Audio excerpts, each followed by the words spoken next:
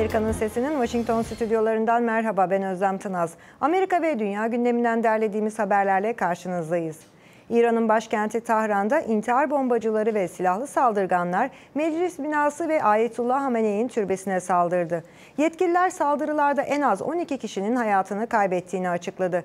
Yaşanan saldırıların ardından gözler bir kez daha bölgeye ve IŞİD'e çevrildi. Peki bölgede neler oluyor? İşte bunu konuşmak üzere şimdi Erbil'e bağlanıyoruz. Amerika'nın Sesi Farsça bölümü muhabiri Ali Cevan Verdi karşımızda. Ee, efendim 2001 yılından bu yana Tahran ilk kez bir terör saldırısının hedefi oldu. Bunu nasıl yorumlamak lazım diyelim ve sözü size bırakalım. Tamam biliyorsunuz İran meclisine ve devrim lideri Ayetullah Hümeyni'nin türbesine saldırıda yani Avrupa'nın mesela Londra'nın e, teröristik saldırıyla e, karşılattırdığında çok farklıdır. Yani mümkün değil. İran Meclisi ve e, Hümeyni türbesi türbesini tam Tehran merkezinde ve çok güvenlik yerde. Yani e, bunu söylemek istiyorum ki IŞİD teröristler nasıl kolayca girdiler. Bunu halk diyorlar Tehran'da. E, ve e, ve burada bir yani bir kesinlikle e, bir önemli sorular var gerçekten yani belli değil. Kadın kıyafetle girdiler meclise ve e, böyle şeyler derler. Ama aslında orada güvenlik memurlar ve e, çok güvenlik memurlar var. Yani kolay e, yani e, metro stasyonu falan da değil. E, bence burada bir güvenlik boşluğu ve hatta şiddetle güvenlik zayıflar var. E, mesela e, askeri komutanlar daha önce defalarca bunu söylediler ki e, IŞİD e, İran'a ulaşmaz, ulaş, ulaşabilmez yani mümkün değil ve İran çok güçlü güvenliği var ve, daha fazlası ama şimdi oldu. Bence yani bundan sonra başka bir dönem başlıyor İran'da. Evet IŞİD e, İran'a saldırmaz yorumları yapılıyordu ama IŞİD dünyanın birçok noktasında terör saldırıları gerçekleştiriyor. Bu kez İran'ı hedef almasının sebebi nedir sizce? Zaten şimdiye kadar belli değil ama e, eğer e, bakarsınız yani bütün bölgede e, olaylar e, yani yeni olaylar var. Bence bu saldırının e, etkileri var yani İran'da.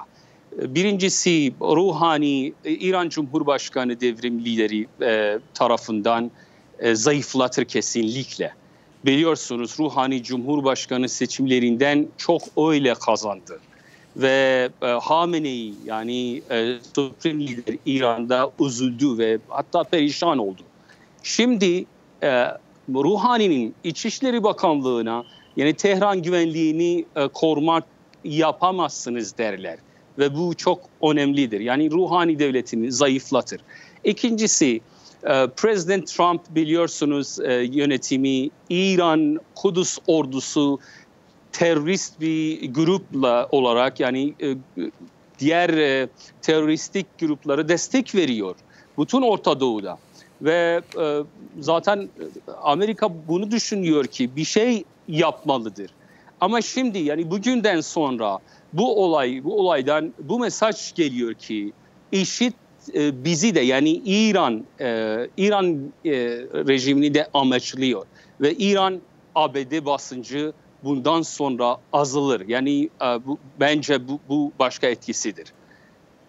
Ama niye İran hedef oldu? Şimdi biraz erken bunu söylemek. Peki tüm bu yaşananlar İran'da aslında halkın belki de kendini güvende hissetmemesine neden olabilir mi? Hiç zannetmiyorum. Bugüne kadar İran böyle yani e, defalarca bunu söylediler. İran başkadır. İran Türkiye değil, Afganistan değil, Irak değil. İran güvenlik adası olarak e, söylediler. Ama e, şimdi gördün ki mecliste ve devrim lideri Hümeyni'nin türbesinde yani tam Tehran merkezinde iki olay oldu. Bugünden sonra e, başka bir e, yani fikir var. Halk bunu düşünüyor ki e, artık o kadar Tehran ve bütün İran güvenlik değil ve no, her şey olabilir bundan sonra. Bu yüzden halk üzülüyor ve biraz perişan oldular. Ee, saldırılar sırasında İran Dışişleri Bakanı Cevat Zarif Türkiye'de temaslarda bulunuyordu. İran'ın Türkiye'den terörle mücadele konusunda bir beklentisi olur mu bu noktada? İran zaten biliyorsunuz kendisi e, herhangi bir ciddi, ciddi terörle mücadele e, yani görmedik şimdiye kadar. Yani İran e, terörist grupları mesela tarif etmek ve e, yani çok farklıdır. İran bütün e, e, Suriye, Suriye'nin opozisyon grupları terörist olarak sayılır. İran e, işiti terörist olarak sayılır ama e, yani e, şimdiye kadar ciddi mücadele işitle e, yapmadı.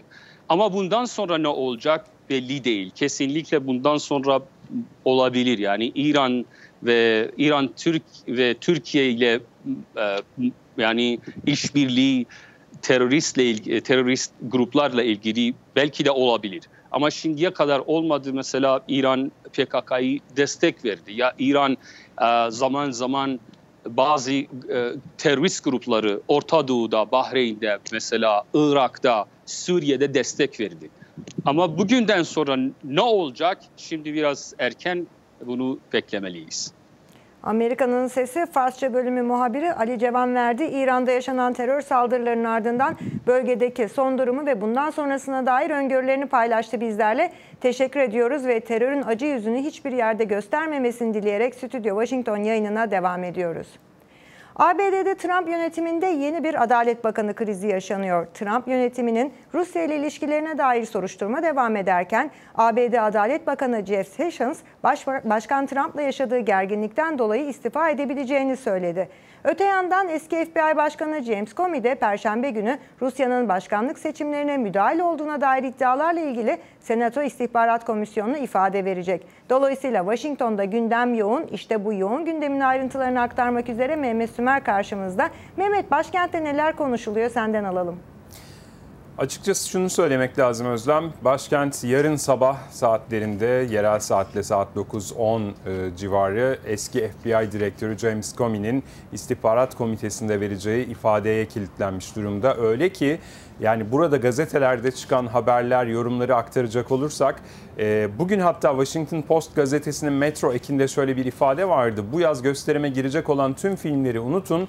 En heyecanlısı yarın sabah olacak en heyecanlı hikaye yarın sabah e, anlatılacak e, ifadesi vardı. Hatta e, Washington'da bazı kafelerin ve barların yarın sabah saatlerinde e, özel gösterimler yapacağı, e, erken saatte açılacakları ve James Comey'nin ifadesini canlı olarak kafelerde yayınlayacaklarına dair e, haberler var. Amerika kelimenin tek anlamıyla e, bu ifadeye, bu e, toplantıya kilitlenmiş durumda. James Comey acaba neler söyleyecek Başkan Donald Trump'ın kendisiyle yaptığı görüşmelere ilişkin olarak. Ama öte yandan hani bir taraftan o beklenirken diğer taraftan haberler de çıkmaya devam ediyor basında. İşte yine Washington Post, New York Times gibi gazetelerde yer alan haberlerden öğreniyoruz ki James Comey görev yaptığı süre esnasında Adalet Bakanı Jeff Sessions'tan bir ricada bulunuyor iddialara göre. O ricada şu, Adalet Bakanı'na diyor ki beni kesinlikle Başkan Donald Trump'la yalnız bırakma. Ben onunla tek başıma görüşmek istemiyorum.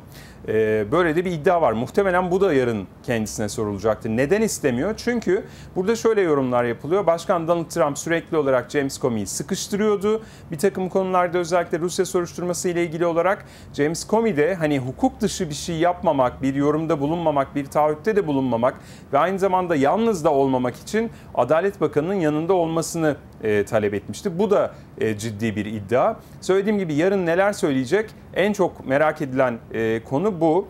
Çünkü James Comey bizzat Başkan Donald Trump tarafından hani deyim yerindeyse kovuldu bir mektupla birlikte. Hatta öyle bir görevden alma oldu ki böyle bir kovma oldu ki James Comey o esnada Los Angeles'ta FBI direktörlerine, FBI çalışanlarına bir seminer vermekle meşguldü ve televizyonda yayınlandı bu haber. ilk başta şaka yapıldığını zannetti ama bu gerçekti görevden alınmıştı. Televizyon kanallarından öğrendi. Bu Amerika'da hiç e, normal olmayan bir durum açıkçası ki zaten FBI direktörlerinin görevden alınması da çok yaşanan bir şey değil. İkinci görevden alınan direktör oldu James Comey.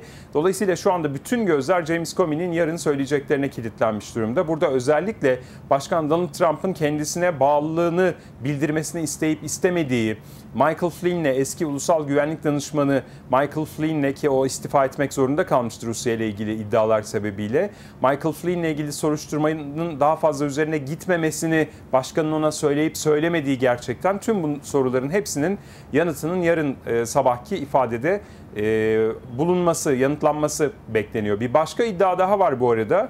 Jeff Sessions'ın da Adalet Bakanı'nın da Başkan Donald Trump'a istifasını sunduğu haberleri var. İstifasını neden e, sundu? Çünkü Jeff Sessions'ın da Rus Büyükelçi Kislyak'la seçim kampanyası esnasında iki defa görüştüğü ortaya çıkmıştı. Ve bu görüşmelerin ortaya çıkmasından sonra Jeff Sessions şöyle bir adım attı. O zaman da demokratlar Jeff Sessions'ın Adalet Bakanı'nın istifa etmesini istemişlerdi bu görüşmeler ortaya çıktıktan sonra.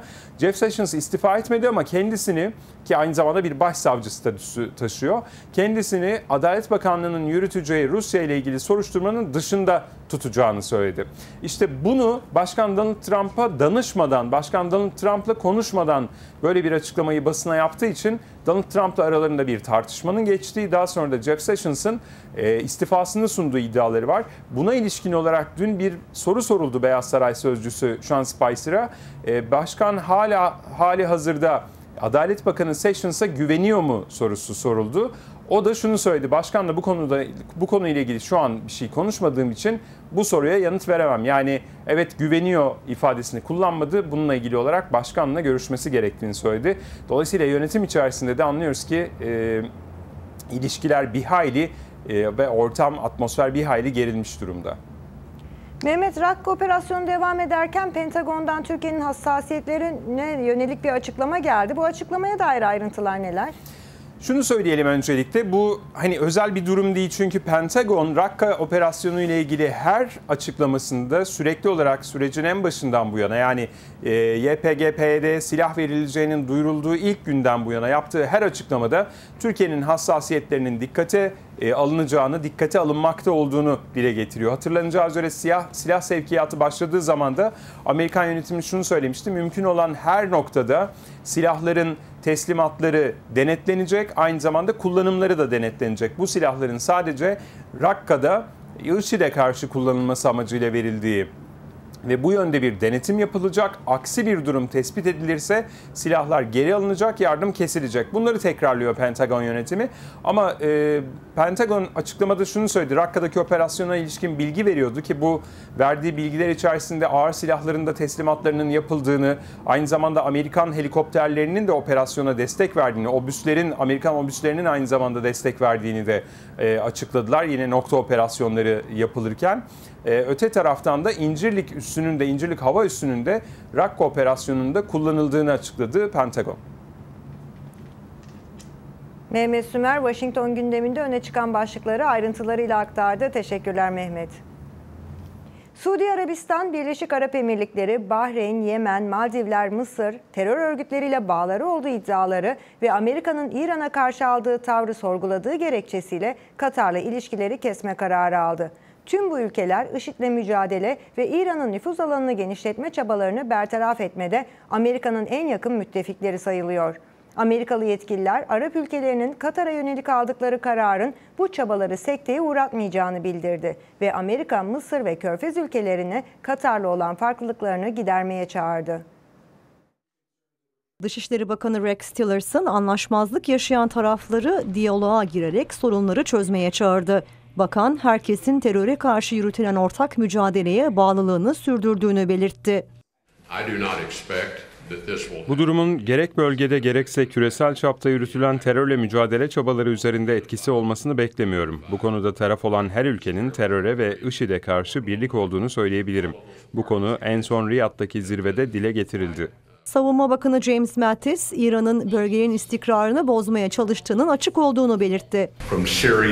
İran'ın attığı adımlar, Esad'ın hala iktidarda olduğu Suriye'den milyonlarca insanın dış dünya ile ilişkisinin kesildiği, Açlığa, sağlık sorunlarına ve şiddete terk edildiği Yemen'e kadar birçok ülkeyi etkiledi. İran'ın hamlelerinin nasıl sonuçlar doğurduğu açıkça ortada. Körfez ülkeleri ve Katar arasındaki anlaşmazlıklar yeni değil.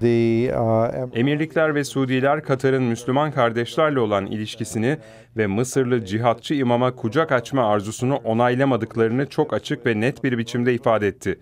Bu sorunlar uzun zamandır varlığını koruyor. Orta Doğu uzmanı Gerald Firestein'e göre Katar ve komşuları gerginliklere rağmen İran'ın nüfuz alanını genişletme emellerine karşı koyma konusunda anlaşıyor. Uzman, Körfez ülkeleri arasındaki birliğin bölgesel istikrar ve güvenliği sağlamada önemli olduğunu, Amerika'nın ise farklılıkları gidermeleri konusunda Körfez'deki müttefiklerine yardım ettiğini söylüyor. I would hope that once again Kuveyt ve Umman'ın bir kez daha bu sorunu çözmede olumlu bir rol oynayacağını umuyorum. Katar emiri Şeyh Tamim geçen hafta Kuveyt'teydi. Anlaşmazlıkları gidermek için Kuveyt'in yardımını istediğini tahmin ediyorum. Amerika da bu çabalara bir kez daha arka çıkmalı. Arap ülkeleri geçmişte de Katar'la olan diplomatik ilişkilerini askıya almıştı. Ancak bu ülkeler Katar'la olan deniz, hava ve kara ulaşımını ilk defa kesiyor.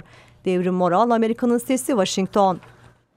Pakistanlı Müslüman genç bir kızın kaleme aldığı Amina's Voice, Amina'nın Sesi adlı kitap, İslamofobi konusunu ve ortaokulda yaşadıklarını anlatıyor. Amerika'nın Sesi, Amerikalı öğrenciler, öğretmenler ve insanların İslam'ı anlayacaklarını umut eden ödüllü yazarla kitap hakkında konuştu. Pakistan asıllı Amerikalı Hannah Han, İslam'la ilgili yanlış anlaşılma ve ön yargıları genç bir Müslüman kızın öyküsüyle yıkmaya çalışıyor. Amina'nın Sesi adını verdiği kitabı Amerika'da Müslüman olmanın ne anlama geldiğini Amerikalılara anlatmaya çalışıyor. So I think it's really important through storytelling. Okuyucuların kendileriyle özdeşleştirebilecekleri bir karakter yaratmanın ve bu karakterin öyküsünü anlatmanın işe yarayacağını düşündüm.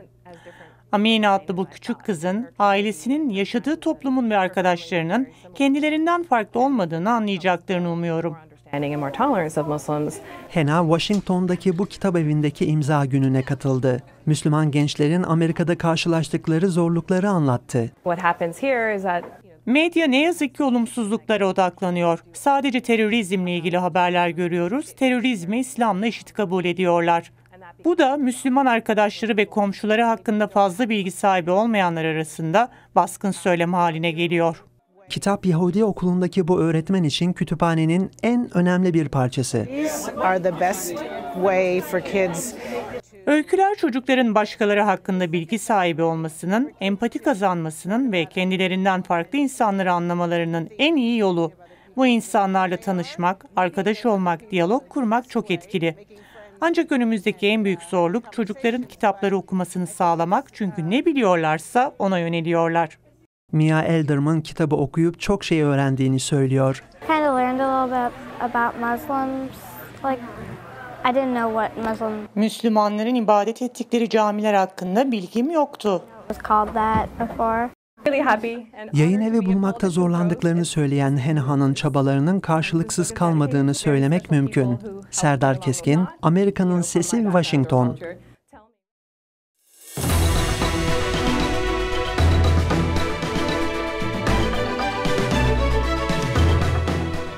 Sırada Amerikan basından özetler var. Alparslan Esmer haftanın ilk günü Amerikan gazetelerinde öne çıkan konuları özetleyecek. Seni dinliyoruz Alp. Özlem Amerikan basından özetlere Washington Post'la başlayalım. Washington Post, Başkan Trump'ın eski FBI Başkanı James Comey'nin yürüttüğü Rusya ve Michael Flynn soruşturmasını engellemek için Ulusal İstihbarat Direktörü Daniel Coates'tan yardım alma girişiminde bulunduğunu bildiriyor. Coates'un Senato İstihbarat Komisyonu önünde bugün ifade vereceğini bildiren gazete, Trump'ın Rusya soruşturmasını engelleme girişiminde bulunup bulunmadığı sorusunun komisyonun bir numaralı gündem maddesi olacağını yazıyor. Öte yandan FBI eski başkanı James Comey'nin ise yarın vereceği ifade büyük merakla bekleniyor. Gazeteye göre kampanyasındaki simaların Rusya ile ilişkilerine odaklanan soruşturmayı cadı avı olarak niteleyen Trump, Comey'nin ifadesi sırasında da rahat durmayacak ve Twitter üzerinden tepki vermeyi sürdürecek. Comey'nin kapsamını giderek genişlettiği Rusya soruşturmasının Trump'ı adeta yiyip bitirdiğini yazan Washington Post, Beyaz Saray'ın Trump'ın özellikle Twitter üzerinden yansıtacağı öfke patlamalarına hazırlandığını bildiriyor. New York Times ise dün bir saldırganın Paris'teki ünlü Notre Dame Katedrali önünde bu Suriye için diye bağırarak polise çekiçle saldırma girişiminde bulunduğunu ve polis tarafından vurularak etkisiz hale getirildiğini bildiriyor. Habere göre Fransa İçişleri Bakanı Gerard Collomb terör saldırılarının artık eskisi gibi kılı kırk yaran planlar içermediğini, her türlü araç gerecin bile silaha dönüştürülebildiğini belirtti. Öte yandan gazete geçen cumartesi akşamı Londra'da girişilen saldırılarla ilgili ayrıntılar vermeyi de sürdürüyor. Habere göre İngiliz polisi birçok uyarıya rağmen 3 saldırganın elinden kaçırdı. Uyarı sinyallerin göz ardı edildi, önemsenmedi ya da gözden kaçırıldı. Gazete saldırganlardan birinin İtalya'da uçağa binerken çantasında IŞİD propagandası bulunduğunu, FBI'nin ikinci saldırganla ilgili olarak 2 yıl önce uyarılar verdiğini, İngiltere'ye yaptığı sığınma başvurusu geri çevrilen 3. saldırganın ise ülkeye İrlanda'dan, İrlanda üzerinden giriş yaptığını bildiriyor. Gazete başkan, başbakan olmadan önce 6 yıl boyunca terörle mücadeleden sorumlu bakan olan Theresa May hakkında genel seçimlere bir gün kala birçok soru işareti belirdiği yorumunda bulunuyor. Hatta May'in Dışişleri Bakanı e, Londra'nın eski belediye başkanı Boris Johnson bile herkesin aklındaki soruları dillendirmeye başladı ve bir televizyon programında bu insanları elimizden kaçırmayı nasıl başardık dedi.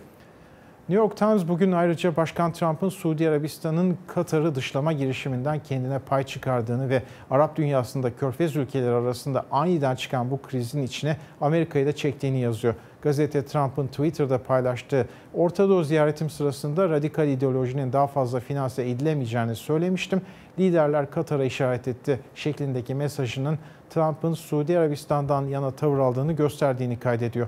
Beyaz Saray'dan yapılan açıklamada ise Başkan Trump'ın Orta Doğu'daki Sünni ülkeler arasında anlaşmazlık çıkarmaya çalışmadığı, sadece Katar'ın çelişkilerle dolu siciline ilişkin hislerini ifade ettiği bildirildi. Beyaz Saray basın sözcüsü Sean Spicer da Trump'ın taraf tuttuğu iddialarını reddetti. Katar Hava Komuta Merkezi'ne ev sahipliği yapmanın yanı sıra Amerika'nın Orta Doğu'daki istihbarat karargahının ve Amerikan Merkez Kuvvetleri Komutanlığı'nda bulunduğu ülke. Gazete ayrıca Cornell Georgetown ve Northwestern'ın da aralarında bulunduğu Amerika'nın itibarlı 6 üniversitesinin Katar'da kampüsleri olduğunu hatırlatıyor. Los Angeles Times ise Kaliforniya valisi Jerry Brown için ziyaretinin ayrıntılarına yer veriyor.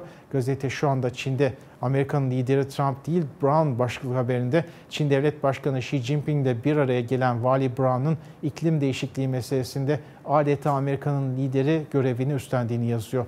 Gazeteye göre iklim değişikliğiyle mücadelenin çehresi olan Kaliforniya, Başkan Trump'ın Amerika'yı Paris İklim Anlaşması'ndan çektiğini açıklamasından sonra farklı bir statüye büründü. Vali Jerry Brown ve Çin Devlet Başkanı Xi, Trump'ı adeta saf dışı bıraktı ve bir saat süren görüşme sırasında yeşil enerji teknolojisini ele aldı. Gazete Pekin hükümeti ve Kaliforniya'nın iklim değişikliği konusunda müttefik oldukları yorumunda bulunuyor. Amerikan basından aktaracaklarımız böyleydi. Söz yeniden sende Özlem. Teşekkürler Alp. Amerikan basından öne çıkan haberlerin özetlerini hafta içi her gün Stüdyo Washington'da izleyebilirsiniz. 2016'da terörden etkilenen ülke sayısı tavan yaptı. Amerika son 7 yılda ilk kez barışsever konumunda düşüş yaşadı. Bu tespitler Küresel Barış Endeksi raporundan. Dünyanın dört bir yanındaki çalışma, çatışmaları ve güvenliği inceleyen endeks, şiddetin ekonomik kaybını da ortaya koydu. Geçen yıl 14 trilyon 300 milyar dolar şiddetle mücadele için harcandı. Hayatını kaybedenler sayılamayacak kadar fazla. Saldırılar, isyanlar, siyasi kurumlara karşı öfke. İşte tüm bunlar küresel ekonomiyi de derinden etkiledi. Amerika dahil dünya çapında trilyonlarca dolar kayba neden oldu. Küresel Barış Endeksine göre 2016'da kaydedilen biraz düzelmeye rağmen bu çatışmalar nedeniyle dünya barışı 10 yıl boyunca geriledi. Merkez Avustralya'da bulunan Ekonomi ve Barış Enstitüsü'nün yıllık raporu çatışma ve güvenlik düzeylerini de ölçüyor. Michelle Breslauer, enstitünün Amerika ülkeleri direktörü. Küresel barışta gelişme olsa da Amerika'da, Orta Doğu ve Kuzey Afrika ülkelerinde gerileme var. Ayrıca en barışçı ülkeler ve en az barış olan ülkeler arasında artan bir eşitsizlik var. Bu da barışla barışsızlık arasındaki uçurumun büyümesi demek. Breslauer ayrıca 2016 başkanlık seçimleri sonrası Amerika'daki siyasi kutuplaşma, polis şiddetine bağlı ölümler, cinayetler ve terör olayları yüzünden ülkede barışın azaldığına dikkat çekti. The US fell by 11 places. It's now 100. Amerika 11 sıra birden düştü. 163 ülke arasında 114. sırada. Bu ülke içindeki çatışmanın kötüleştiğinin bir göstergesi.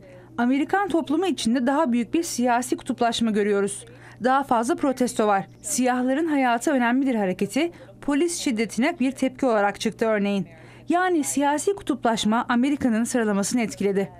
Rapora göre en barışçı 23 ülkede bile terör olaylarında tarihi bir artış var. Avrupa, Fransa, Belçika ve İngiltere'deki saldırılardan önemli derecede etkilense de kıta hala en barışçı bölge olma konumunu koruyor. Suriye ise beklendiği gibi 5 yıl üst üste hala en az barış gören ülke. Dilge Timoçin, Amerika'nın Sesi, Washington.